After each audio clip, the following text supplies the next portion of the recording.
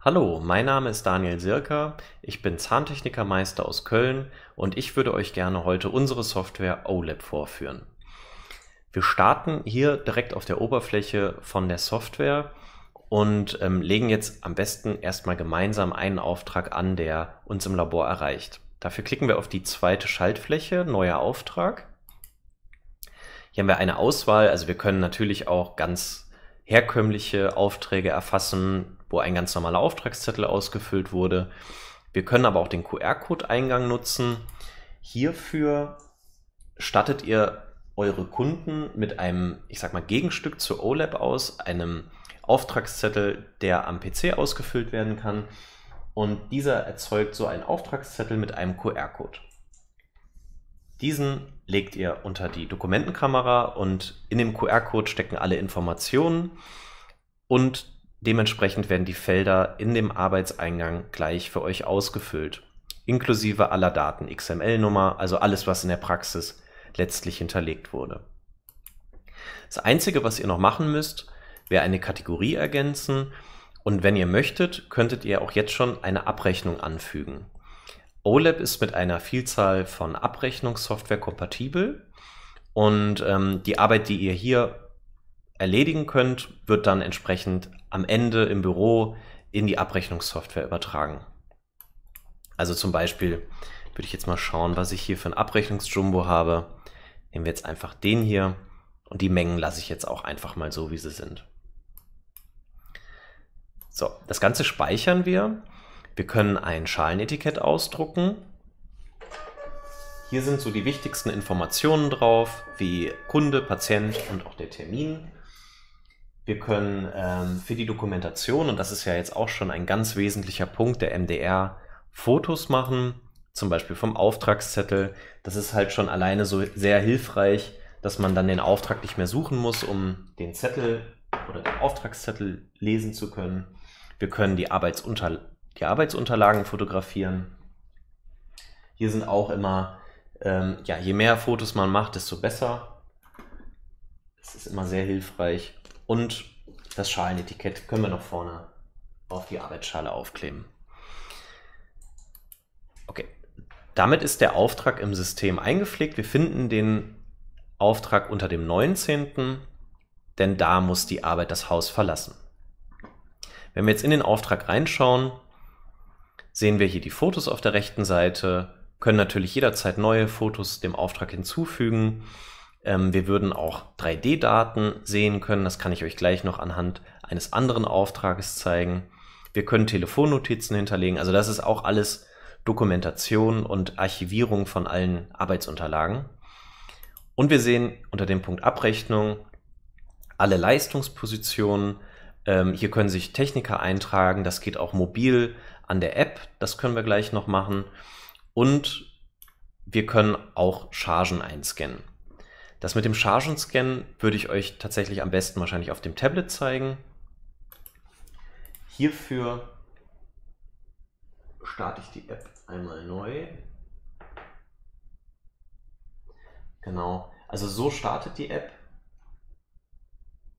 Ihr könnt euch hier mit einem Benutzer anmelden, also vielleicht eurer Technikernummer und seid dann an dem Gerät registriert.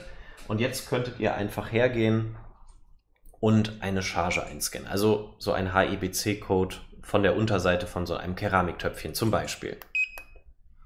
So, das geht natürlich mit mehreren Massen gleich hintereinander. Und ähm, zum Schluss scannt ihr einfach noch den Auftrag, den ihr vor euch habt, wo ihr die Chargen hinzufügen wollt. So, dann gehen wir noch auf Speichern und damit ist das Ganze erledigt. Bei der Tablet-Variante, genauso wie ähm, auch natürlich eine Desktop-Variante, können wir jetzt den Auftrag aufrufen, zum Beispiel über den Namen und können dann unter dem Punkt Abrechnung unsere Technikernummer ergänzen an den Stellen, wo wir eine Leistungsposition erbracht haben. Das Ganze dann abspeichern und wir können auch sehen, na, machen wir es mal so. Ganz unten haben wir die Materialscans. Wir können auch mit, dem, äh, mit der Tablet-Kamera Fotos hinzufügen. Wir können Zahnfarbzeichnungen machen, wenn Patienten ins Labor kommen. Wenn hier solche Zeichnungen speichern. Okay, dann wechseln wir wieder zur Desktop-Version.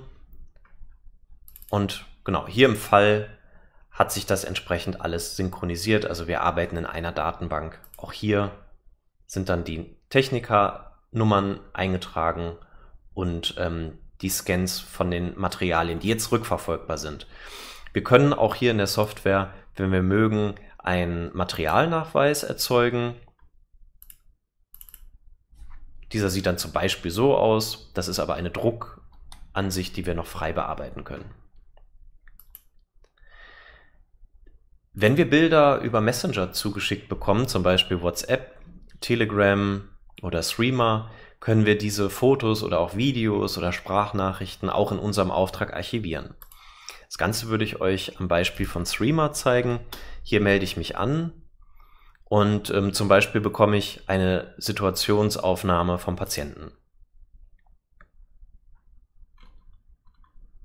Zum Beispiel sowas.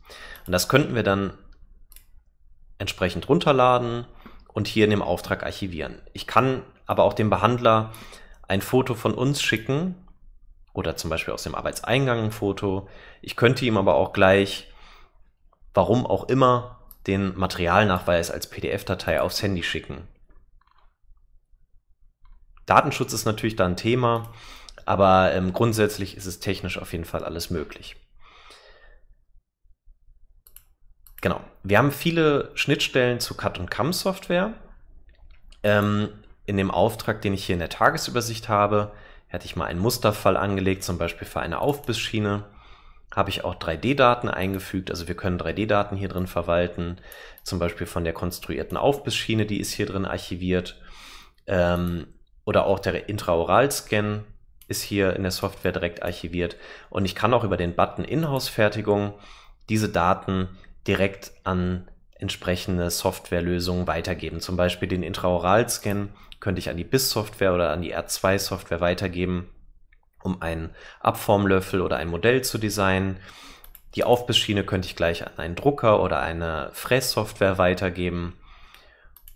Und ähm, die, für die Konstruktion könnte ich das Ganze an Exocad oder 3Shape weitergeben. Also so verbindet OLAP dann all eure verschiedenen Softwarelösungen, die sich bei euch im Labor befinden. Risikomanagement ist noch ein wichtiges Thema zum Abschluss. Ähm, wir haben den Risikomanager in OLAP integriert. Hier findet ihr in der Risikomanagement-Akte ähm, alle wichtigen Dokumente, die ihr ausfüllen müsst. Ähm, das ist aber weitestgehend schon erledigt. Ihr müsst lediglich hier eine verantwortliche Person eintragen, die Firma anwählen. Das ist natürlich hier aus euren Stammdaten übernommen und dann die entsprechenden Dokumente ausdrucken. Wenn euch da irgendwas nicht gefallen sollte, könnt ihr die aber auch noch umgestalten. Alle zwei Jahre muss ein Sicherheitsbericht erstellt werden. Hier hilft OLAP auch, den, dem Nutzer das möglichst leicht zu machen. Ihr müsst euch hier nur durch dieses Formular ähm, arbeiten. Die Felder sind so ausgefüllt, als wären keine besonderen Vorkommnisse. Also das sollte eigentlich dem Regelfall entsprechen. Ähm, die Reklamationen und Kulanzen werden aus der Datenbank von OLAP übernommen. Das müsst ihr sozusagen dann auch nicht mehr ausfüllen. Das wird alles automatisch für euch in den Sicherheitsbericht eingefügt. Den müsst ihr dann auch nur alle zwei Jahre entsprechend speichern oder drucken, wie ihr das auch gerne hättet. Risikobewertungen haben wir für euch vorbereitet. Ähm, die könnt ihr individualisieren oder auch neue hinzufügen oder auch welche löschen, die euch nicht passen. Ähm, und diese Risikobewertung kann man auch bei den Patientenfällen tatsächlich ähm, hinterlegen. Also zum Beispiel nehmen wir nochmal unsere Arbeit von vorhin, die Frontzahnkronen.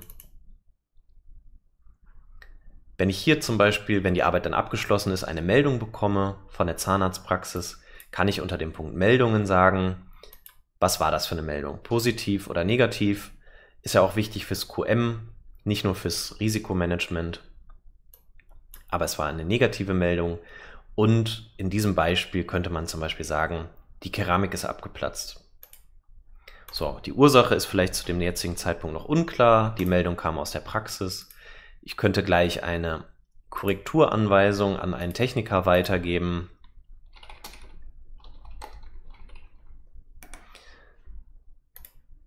Und eventuell auch den Schaden dokumentieren, wenn ich die Arbeit schon zurückbekommen habe.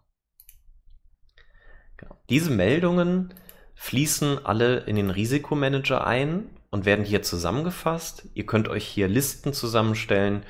Was war diese Woche so an negativen Meldungen oder positiven Meldungen? Das kann zum Beispiel die Grundlage für eine Teamsitzung sein. Ja, ich hoffe, dieser kurze Einblick in OLAP hat euch gefallen. OLAP hat noch sehr, sehr viele Funktionen, auch viele kleine Funktionen, die den Alltag erleichtern sollen. Am besten informiert ihr euch bei uns auf der Website da haben wir auch noch mal eine ganze Menge Videos hochgeladen und äh, auch gerne informieren wir euch natürlich auch in einem persönlichen Gespräch. Also ich würde mich freuen, von euch zu hören und bis bald.